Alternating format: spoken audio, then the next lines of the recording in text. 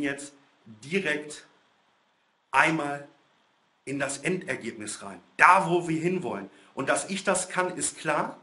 Ich will nur sagen, wenn ihr das genauso trainiert, wie ich das früher trainiert habe und permanent trainiere, dann macht ihr das genauso sicher und schnell in der Prüfung. Und da geht es nochmal um die Performance, dass der Prüfer am Ende des Tages euch den Segen gibt und sagt, ja, mit diesem Menschen würde ich auch gerne zusammen aktiv auf die Jagd gehen, weil ich habe nach bestem Wissen und Gewissen abgeprüft und bestätigen können, dass alles ordnungsgemäß und richtig durchgeführt wurde. Und jetzt zeige ich euch einmal das Endergebnis und stelle mir dazu im Prüfungsabschnitt 1 einmal die Worst-Case-Situation her.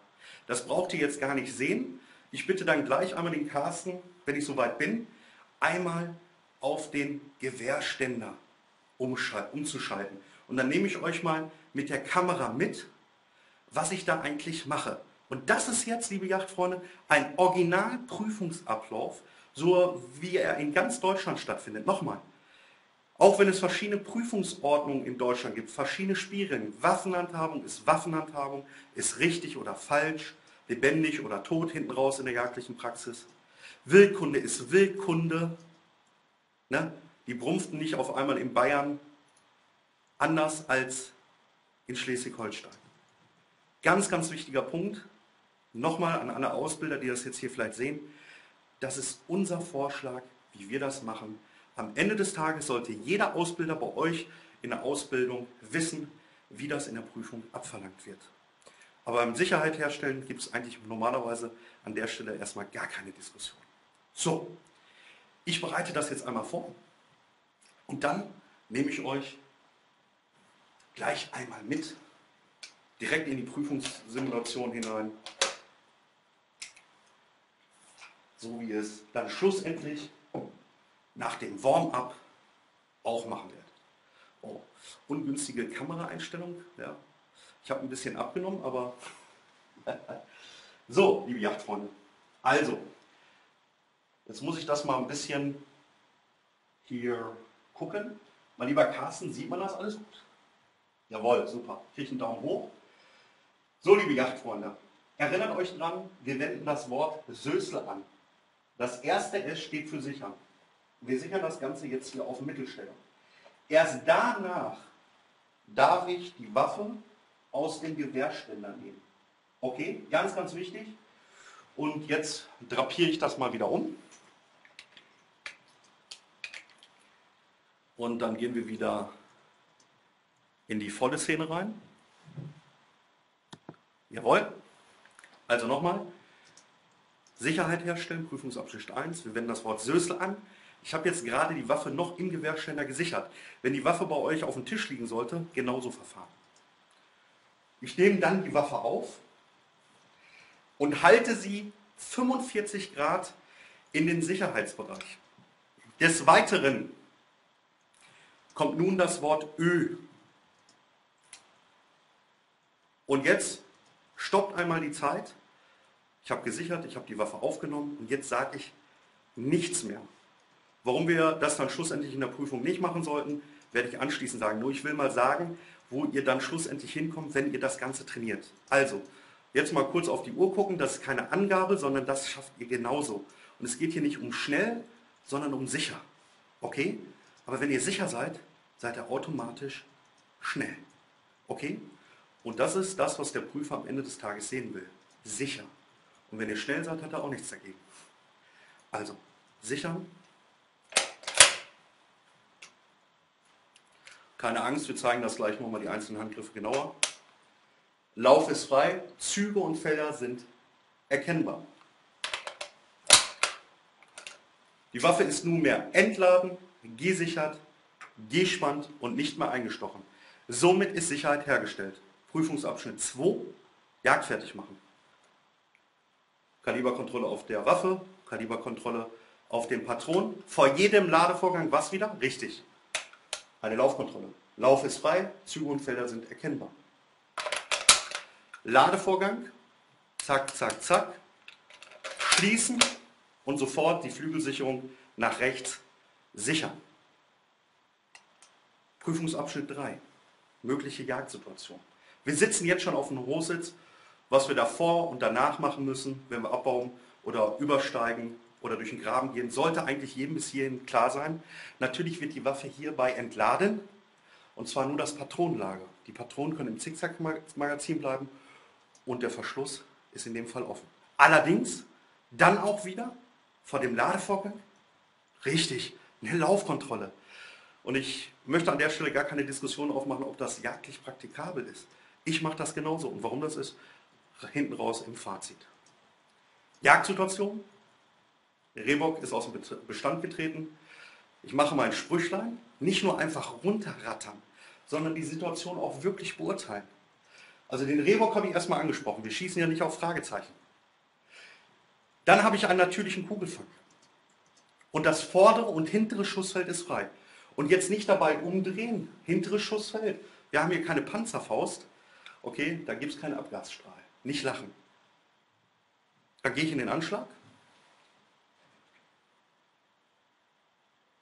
Entsicher die Waffe und steche unter Sicht ein. Das heißt, ich gucke hin. Keine Angst, wir zeigen das gleich nochmal näher. Die einzelnen Handgriffe. Und jetzt springt der Rehbock ab, sofort im Kugelfang auch sichern und entstechen.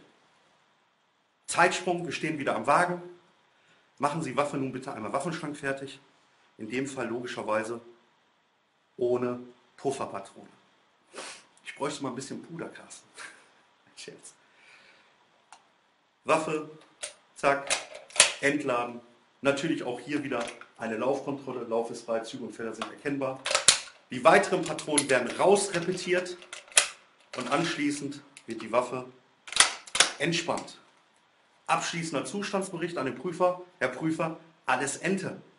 Entladen, entsichert, entspannt und entstochen, wobei nicht eingestochen richtiger wäre. Aber dann hätten wir nicht eine schöne Eselsbrücke rüber zu den Stockenden. Dazu kommen wir dann mit Sicherheit die Tage. So, das hat natürlich jetzt etwas länger gedauert, um euch mal einen Einblick in einen möglichen Prüfungsablauf zu zeigen.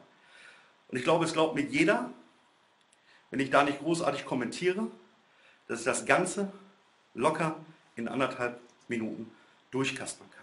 Warum solltet ihr definitiv am Ende des Tages das kommentieren, was ihr sagt? Einmal für euch, das zweite Mal für den Prüfer, so unterstützt ihr. Und der abschließende Zustandsbericht nach jedem Prüfungsabschnitt ist nochmal eine doppelte Absicherung für euch, denn an der Stelle könntet ihr noch einen Fehler vermeiden oder ausgleichen, den ihr vielleicht vorher gemacht habt. Vielleicht habt ihr die Stecherkontrolle vergessen. Okay? So, jetzt würde ich vorschlagen, ähm, wir nehmen jetzt alle, respektive ich, mal einen Schluck aus meiner Tasse. An euch wieder die Bitte, aufkommende Fragen bis hierhin einmal in den Chat schreiben. Gegebenenfalls werden die sofort von Carsten beantwortet, respektive am Schluss gesammelt durchgegangen. Sehr zum Wohle.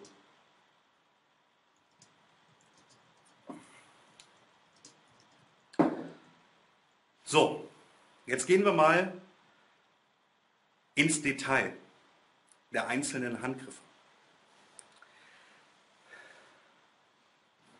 Dazu wechseln wir noch einmal die Kameraperspektive. Ich mache das einmal gerade selbst. Zack. Da sind wir. Also nochmal. Die Waffe stand jetzt von euch aus gesehen so in dem Gewehrständer. Ja. Auch so dann trainieren, wie, die, wie das in der Prüfung stattfindet. Zack. Flügelsicherung ist links, kann man sich merken. Links ist linkisch, ist entsichert. Rechts ist rechtschaffend, ist gut. Hat nichts mit meiner politischen Gesinnung zu tun nebenbei. So, diese Flügelsicherung werden wir noch in dem Gewehrständer sichern. Und zwar auf Mittelstellung. Oh Timo, du hast doch gesagt, die Mittelstellung ist jagdlich nicht relevant. Ja, was meine ich damit? Jagdlich während der Jagdpraxis. Okay, dazu kommt gleich mehr. Aber bei der Sicherheit herstellen können wir das nämlich gut verwenden. Warum? Weil hier kann jetzt nichts mehr passieren. Das Ding ist gesichert und trotzdem kann ich im zweiten Schritt, erinnert euch an das Wort Sösle, jetzt öffnen. Dazu geht die Hand, ganz wichtig, vor dem Auswurffenster, um eine mögliche Patrone beim Öffnen hier aufzufangen. Mal angenommen, euch fällt die Patrone aus Versehen auf den Boden. Lasst sie liegen. Lasst sie liegen. Des Weiteren die Entnahme des Zylinderverschlusses. Jetzt drehe ich mich einmal, mache mal einen auf Linkshänder. Ihr müsst hier mit dem Daumen den Verschlusshebel betätigen. Dabei bitte aufpassen, dass die Hand dabei nicht hier in die Abzüge kommt. Ja, das sieht unschön aus. Hier betätigen und den Zylinderverschluss entnehmen. Den Zylinderverschluss legen wir nicht aus der Hand, den lassen wir einfach locker und entspannt runterhängen. Warum? Damit wir hier das Schaftholz nicht zerkratzen. Ja, irgendwann, oder vielleicht ist ja einer bei euch hier im Chat dabei, der sich ein Elber Schaftholz leisten kann, das macht man einmal und dann hat man keinen Spaß mehr an dem Holz. So, entnehmen, Laufkontrolle, logischerweise, und wieder rein das Ganze. So, wir haben die Stecherkontrolle. Wenn das ganze Ding eingestochen ist, wenn man die Waffe kennt, an der man ausgebildet ist, kann man das sehen, aber man sollte nicht davon ausgehen, sondern man muss es definitiv überprüfen. Wenn die Waffe eingestochen ist, ziehe ich zuerst mit dem Mittelfinger den hinteren Abzug, halte diesen, ziehe den vorderen Abzug, halte diesen und lasse beide gleichzeitig nach vorne gleiten. Das sieht ein bisschen verkrampft aus. Andere machen das auch so. Völlig wurscht, Hauptsache ihr kommt zum Ziel. Die Waffe zu entstechen. Okay? Dann noch ganz, ganz wichtig, die Flügelsicherung nicht einfach hier so mit dem Daumen umschlagen. Das hört man in der jagdlichen Praxis 200 Meter weit. Dann kommt keine Sau mehr an die Kehrung. Zwischen Daumen und Zeigefinger Material schon und vor allen Dingen leise am Schlösschen betätigen. So, rechts ist gesichert. Entschuldigung, spiegelverkehrt. Rechts ist gesichert. Der Zylinderverschluss lässt sich nicht öffnen. Es kann aber auch kein Schuss fallen, logischerweise. Mittelstellung ist immer noch gesichert. Man kann aber den Zylinderverschluss öffnen. Und ganz rechts ist feuerfrei. Und jetzt achtet mal bei Schussabgabe auf die Schlagbolzenmutter. Bumm. Okay? Nochmal. Live. Das ist alles, was ich, weil ich hier gerade auf dem, ähm, auf dem Bildschirm gucke, spielverkehrt. Man muss natürlich entsichern, um schlussendlich den Schuss auslösen zu können. So, hier liegt der Abzug bei un ungefähr 1,2 Kilogramm. Ich spanne nochmal neu, betätige jetzt unter Sicht den hinteren Abzug, steche unter Sicht ein und jetzt brauche ich das Ganze nur noch ganz kurz betätigen und der Schuss fällt. Dieser Stecher, liebe Jagdfreunde, wird bitte nur während des Ansitzes verwendet und niemals auf flüchtiges Wild. Das heißt, wenn ich eine Schussabgabe beim Ansitz auf stehendes Wild über den Stecher ausgeführt habe, repetiere ich sofort durch und verwende dann den sogenannten Druckpunkt. Schaut, ich kann hier einmal ein kleines Spiel machen haben oder ich habe hier ein kleines Spiel und dann kann ich eventuell noch von hinten aktiv in das flüchtende Wild reingehen, falls ich nochmal einen zweiten weitgerechten Schuss antragen muss. Jeder weitere Schuss ist übrigens weitgerecht, wenn ich das Tier leider Gottes vielleicht krank geschossen haben sollte. Wieder sichern.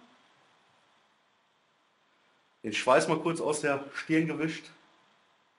Und Jetzt nochmal in die Vollansicht.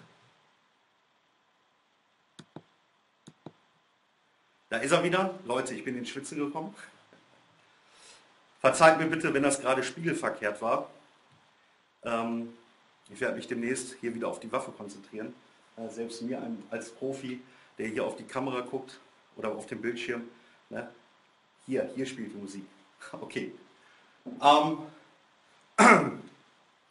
Ihr habt die Waffe am Ende des Tages schlussendlich, nachdem ihr nochmal eine Laufkontrolle gemacht habt, Waffenschrank fertig gemacht.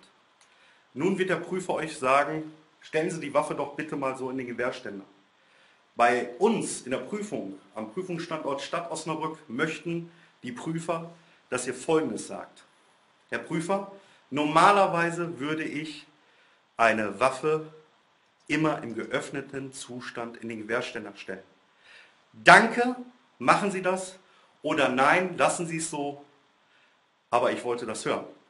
Wenn er sagt, danke, machen Sie das, wäre das die zweite Ausgangssituation. Wenn er sagt, danke, das wollte ich hören, aber stellen Sie die Waffe bitte so wieder, also Waffenschrank fertig in, die Gewehrständer, in den Gewehrständer, dann wäre das die dritte Ausgangssituation. Und deswegen, aus der Logik heraus, werdet ihr zu 99,99% Sicherheit herstellen müssen aus der sogenannten Gewehrständer oder sogenannten Waffenschranksituation machen. Ohne Gewehr, nochmal, wenn ihr die Worst-Case-Situation durchkaspert, wenn ihr schlussendlich auch die Gewehrständer-Situation abarbeiten könnt. Und nochmal, das gehe ich jetzt im Detail nicht durch, das kann sich an dieser Stelle jeder sehr, sehr gerne einmal über unsere digitale Jungjägertasche mit unserem kostenlosen Testzugang zum Online-Lernsystem zu genau diesem Trainingsprogramm en Detail ansehen. Genauso die Waffenschranksituation und alle weiteren Prüfungsabschnitte, die da kommen. So, bis hierhin, wir haben es gleich geschafft. Aber es macht mir unwahrscheinlich viel Spaß und Freude. Ich hoffe euch auch. Ich weiß nicht, was momentan im Chat abgeht. Ich höre den Carsten nur tippeln. Carsten, darf ich dich mal zeigen, wie du da sitzt? Ja, wir, ich mache mal eine kleine Pause und ich zeige euch mal, wie der Carsten da so sitzt. So sieht das aus. Oh, wir müssen einmal umschalten. Oh. Da sitzt der Carsten. Übrigens, da hinten ist ein Schild, ein Bild, Bilderrahmen. Ich habe nachgelesen, wir sind die geilsten hier. Okay. so, also nochmal die Bitte, Fragen hier reinstellen. Wer sich das on Detail angucken möchte, wie das bei uns didaktisch abläuft im Trainingsprogramm, möge sich einmal die digitale Jungjägertasche ordern. Das ist ein kostenlose, kostenloser Testzugang für alle diejenigen, die sich für eine Jagdscheinausbildung auch nach der Corona-Krise interessieren. Gibt es im Teil davor, ca. 40 Minuten, einen Einblick, wie tatsächlich die Jagdscheinausbildung in den einzelnen Phasen aus der, vorbereitenden, aus der betreuten Vorbereitungsphase, dem Online-Lernsystem, unserem Basismodul schlussendlich aussieht, im Praxismodul vor Ort bis hin zum Prüfungsmodul. Und darüber hinaus, wie gesagt, ein Testzugang, auch für all diejenigen, die jetzt schon in der Jagdschaunausbildung waren, respektive immer noch sind und hoffentlich demnächst nach der ganzen Scheiße, so muss ich das mal sagen, schlussendlich dann im Herbst endlich erfolgreich und sicher die Prüfung ablegen zu können. Okay, da könnt ihr euch gerne einmal die kostenlose digitale Jungjägertasche holen. Da sind auch noch andere Sachen drin. Munitionskunde, Schädelpräparate. Immer ein kleiner Ausschnitt. So viel dazu. Der Carsten haut das mit Sicherheit gerade schon in den Chat rein.